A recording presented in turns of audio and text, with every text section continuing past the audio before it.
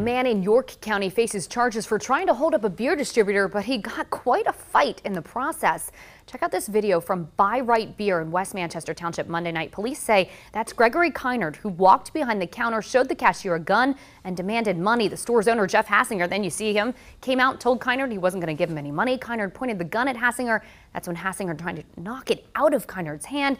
Two started fighting after that, and the employees were able to keep Kynard there until police arrived. That gun turned out to be a pellet gun. Hassinger was treated at York Hospital.